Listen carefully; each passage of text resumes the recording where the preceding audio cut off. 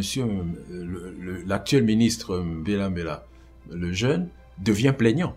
Parce que vous il n'est pas actionnaire. Il a déposé une plainte qui n'a pas été retenue. À la limite, on peut l'écarter. Elle m'a valu euh, ni euh, cellule, ni détention. Mais pour qui euh, dépose une plainte, il faut qu'il ait des raisons. Il faut de se plaindre. On ne se lève pas un matin et on se plaint comme ça. Si, si, si. Au Cameroun, c'est ça un paradis judiciaire. C'est ça qui est, c'est le côté exotique. Vous pouvez vous lever un matin. Moi, je vous le dis droit dans les yeux. Oui. Vous pouvez au Cameroun vous lever le matin et porter plainte comme ça et obtenir que quelqu'un sans titre, sans décision judiciaire, soit coffré pendant un mois, un an, dix ans. Il vous suffit de faire quelques recherches et vous verrez qu'il y a anciennement eu des cas et qu'encore aujourd'hui, il y a des cas.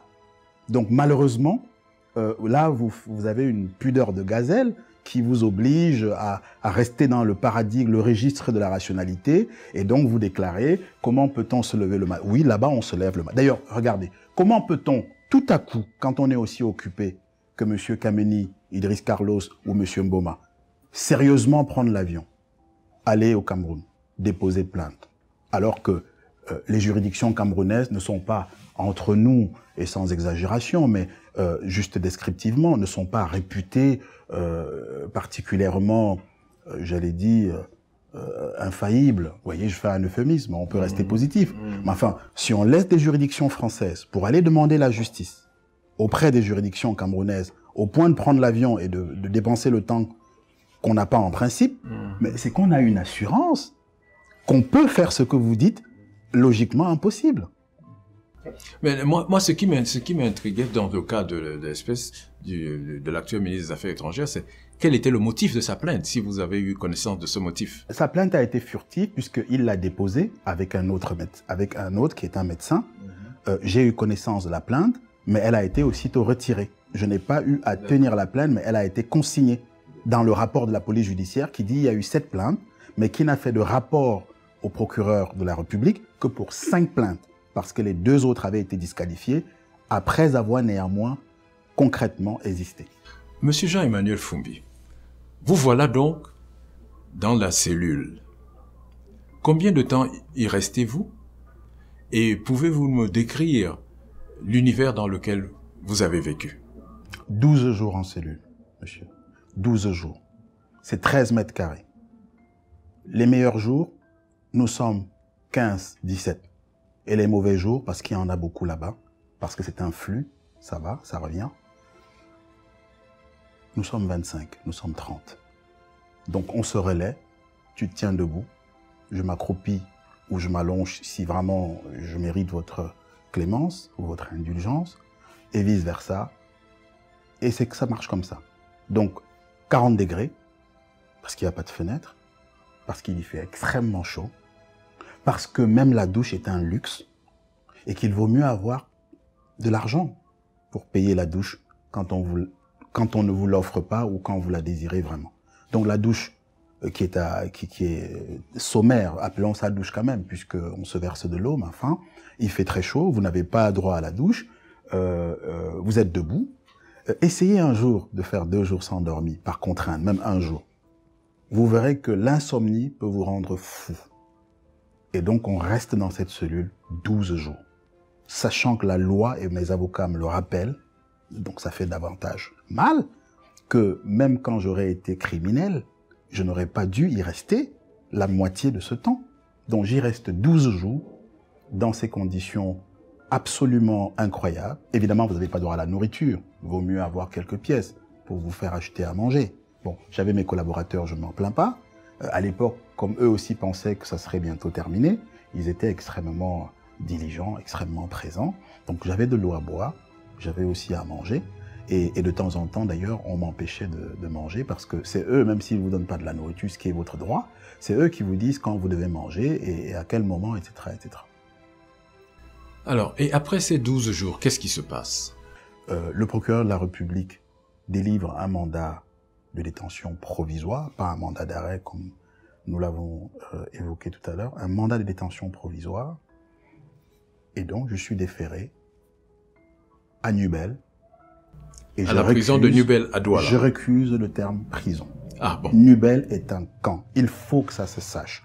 Il faut que nous ne soyons ni dans l'exagération, mais ni dans cette attitude qui consiste à dire on va regarder, on ne va pas voir. Et si on voit, on va dire autre chose.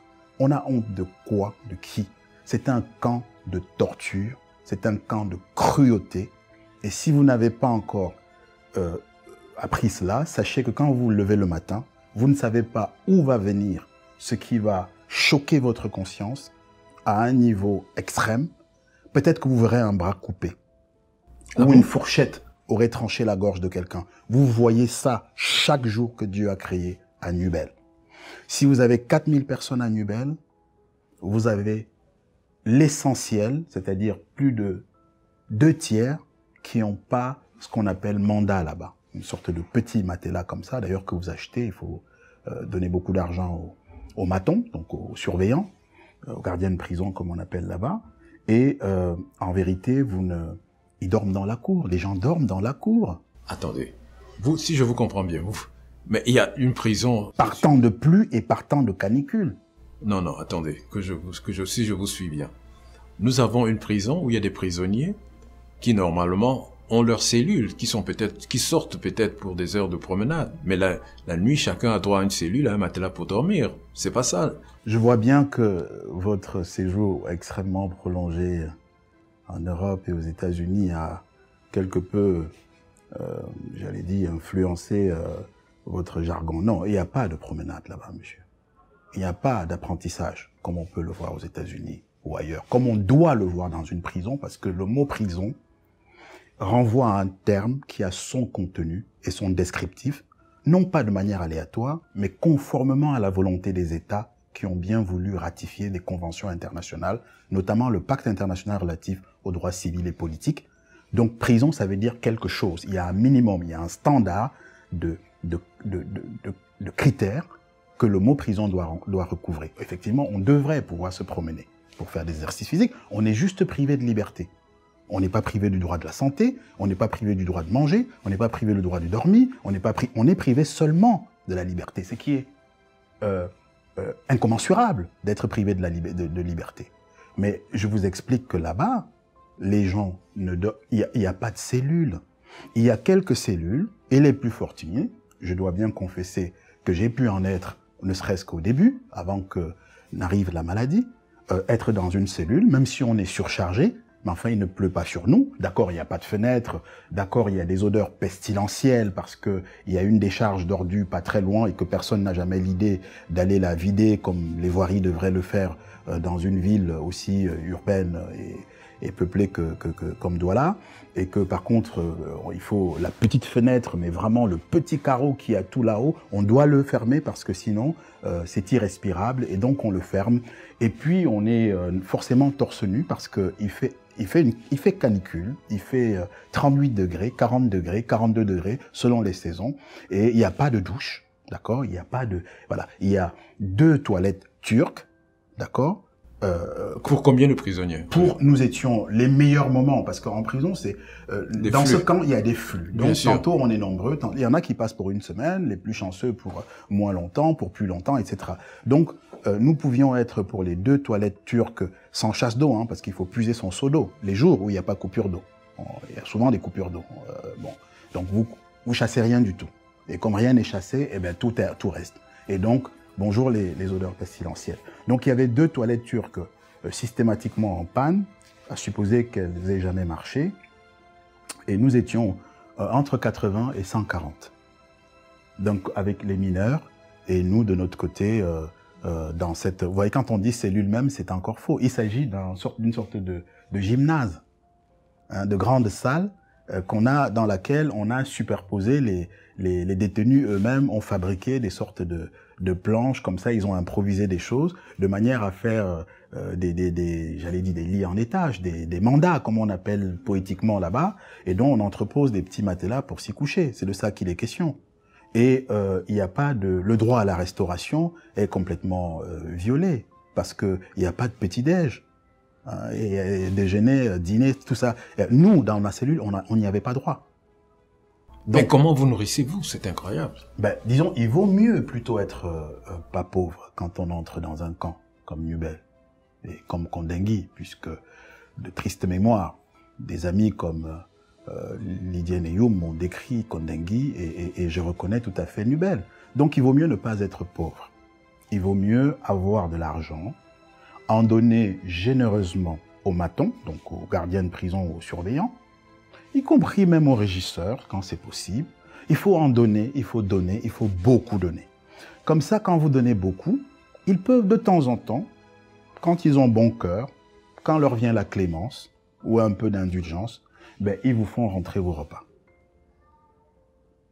Ou alors, puisqu'ils ont des petites boutiques, les gardiens de prison ont des petites boutiques, vraiment sommaires, où tout est vraiment euh, euh, en surinflation, ou alors il vous faut vous contenter d'aller acheter des, des boîtes de, de conserve euh, hors de prix. Donc il vaut mieux là encore une fois ne pas avoir, ne pas être pauvre.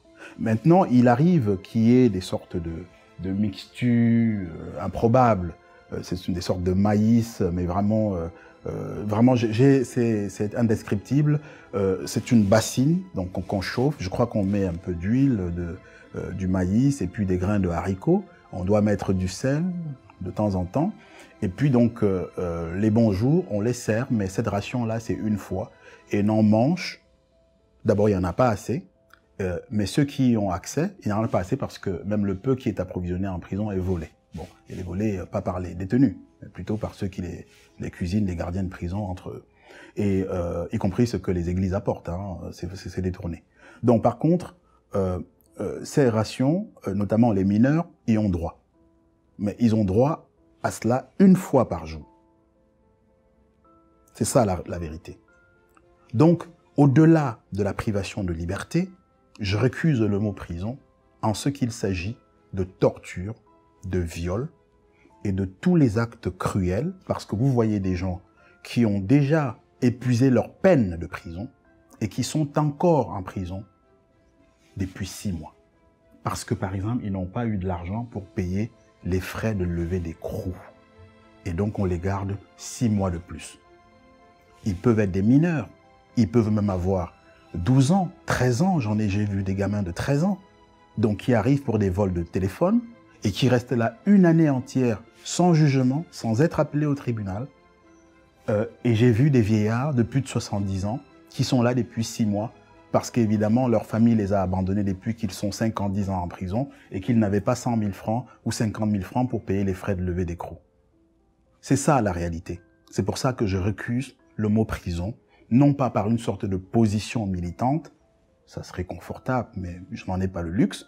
Je vous décris et là, de manière extrêmement timide et modeste, euh, un aperçu de ce camp que j'ai côtoyé pendant deux ans.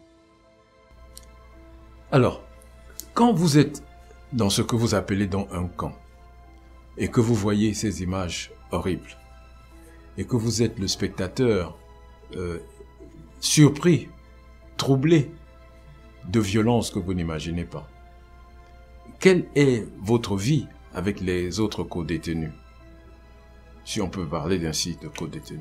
Euh, dans ce camp, en fait, il y a des gants. Euh, il y a quoi? Il y a des gants.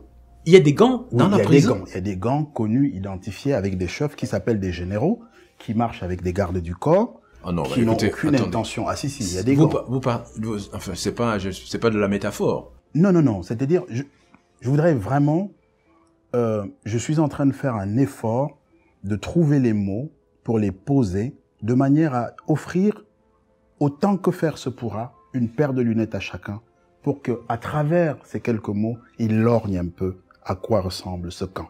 Je vous explique des gants. Je pèse, mais il n'y a pas d'exemple. Je parle des gants. Ils s'appellent comme ça. Dans un gant, c'est un, c'est une troupe qui s'entraîne, qui est armée, qui fait des actions, qui, euh, qui, qui, qui, qui, prend de l'argent aux gens, qui raquette.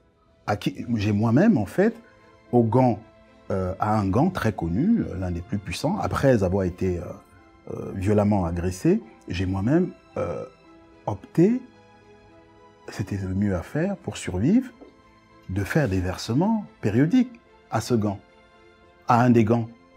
Et donc il y a des gants en fait avec des chefs de gants, et ce sont eux en vérité dans les faits qui dirigent la prison. Donc on peut dire que le régisseur du camp de Nubel co-dirige, et là on serait vraiment dans une intention de rigueur extrême. On peut dire qu'il co-dirige, pour pas dire qu'il ne fait rien, il co-dirige cette prison avec des gants. Ce sont les chefs de gants qui disent s'il y aura une évacuation ou pas, si quelqu'un sera euh, agressé ou pas, si vous serez violé ou pas, si la drogue rentrera ou pas, si vous vendrez la cigarette ou plutôt la drogue. Ils peuvent décider que vous allez aller récupérer la drogue à l'entrée pour la leur apporter. Vous le faites. Si vous ne le faites pas, il y a des fourchettes. Ils savent plier les doigts de la fourchette et vous mettre cela dans la horte. Et ils ne blaguent pas.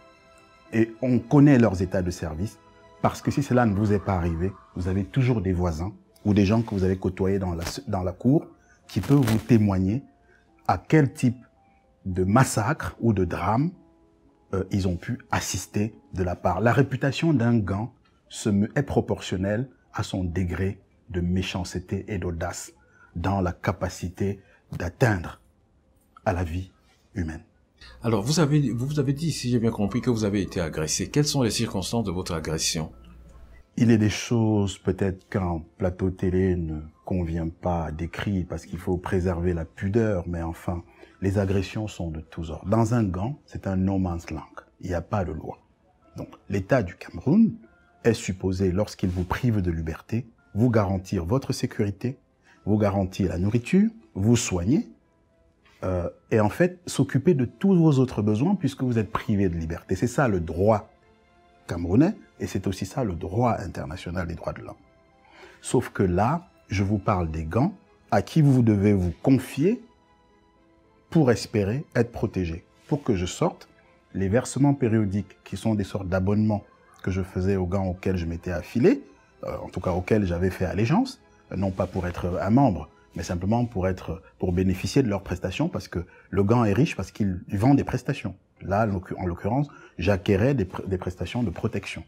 Donc pour que je sorte, il fallait que je signale que je vais sortir, et donc on m'envoie, selon que je vais au parloir, avant que je ne tombe malade, j'allais encore au parloir, ou que je vais dans la cour, on pouvait décider de m'envoyer, ou qu'il y a un risque qui pèserait d'après leur service d'information, parce qu'ils sont informés. C'est un gant, c'est structuré, c'est extrêmement bien structuré.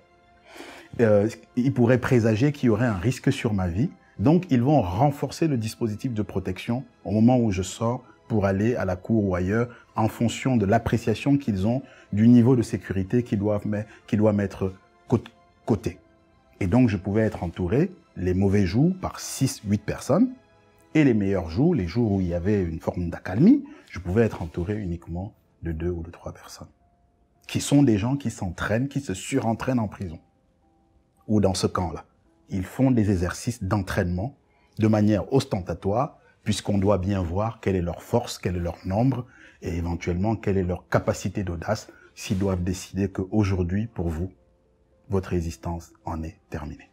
Alors, vous avez aussi dit quelque chose qui me frappe et je me pose la question, que de la drogue circulerait, euh, j'emploie le conditionnel, vous pouvez me démentir ou préciser les choses. Qu'est-ce qui se passe? La drogue coûte moins cher que la cigarette. Ah, pardon? La drogue dans le camp de Nubel coûte moins cher que la comment, cigarette. Comment ça? Simplement parce que la drogue, ce sont des herbes qu'on peut... Les chefs de gants ont des euh, partenaires à l'extérieur. Et donc, ces partenaires, avec la complicité euh, bien comprise des matons, des gardiens de prison, de la direction de la, de la, du camp en tout cas, euh, en fait font rentrer euh, les produits, donc les trafics, les drogues, dans, dans, dans Nuben. Euh, mais il faut acheter la cigarette. Le prix d'acquisition de la cigarette, ou bien de, parce qu'ils ne la fabriquent pas, ou ils doivent encore la, la voler ou l'acheter pour revendre. Euh, là, on a des gens en fait qui peuvent récupérer de la marchandise qui a été cultivée parce qu'il faut juste euh, planter ces herbes là et elles poussent. Donc euh, c'est l'activité commerciale de beaucoup à l'extérieur. Et donc leur partenaire stratégique, c'est les chefs de gants. Et chaque chef de gants a des stocks qu'il peut faire entrer. C'est connu par tous les dirigeants de la prison. Et personne ne les en empêche. Et donc, ils rentrent cela dans la prison. Et très souvent, les mineurs, pour survivre, pour manger, pour euh, avoir des habits de rechange, très souvent, les mineurs finissent paraître en fait les coursiers de, de livraison de la drogue. Parce que quand on doit livrer la drogue à un détenu un peu plus fortuné, le chef de gang, vous pensez quand même pas qu'il va se mettre à faire le coursier. Et le chef de gang, il est protégé, il est garde, c'est un général ou un colonel, selon son grade, euh, qui est mesuré au gré de sa capacité d'être, euh, de vous supprimer la vie ou de vous amputer, euh, de vous rendre un handicap durable. Et donc, par conséquent, ces petits jeunes, souvent, pour 500 francs, pour 100 francs, font les coursiers. Et c'est comme ça qu'ils touchent à la drogue de la prison. Et forcément, ils en ressortent des drogués, alors que ou, ou, des, ou des, des, addicts à la drogue, ou simplement des gens qui en prennent. Euh, euh, parce que ce sont des primo-drogués, alors que jamais ils n'avaient peut-être vu la drogue de leur vie, et ils y entrent, encore une fois, pour des petits grabuges. Alors, vous tombez malade en prison. Est-ce que vous êtes soigné? Qu'est-ce qui vous arrive sur le plan de votre santé? Est-ce que vous la voyez? Est-ce que ça vient tout d'un coup? Ou bien euh, c'est subite et vous êtes surpris Qu'est-ce qui se passe? J'étais quand même suivi pour des problèmes ophtalmologiques à la fondation de Rothschild bien avant d'être interpellé. Et les autorités camerounaises savaient que j'étais suivi puisque nous leur avons évidemment, euh, mes conseils leur ont présenté les, dossiers. D'ailleurs, il y avait un rendez-vous, une opération chirurgicale qui était programmée euh, en 2012, en fin 2012, que j'aurais dû passer, je crois, en juin 2013 et qui a été euh, décommandée puisque j'étais détenu. Donc, ils savaient que j'étais suivi avant.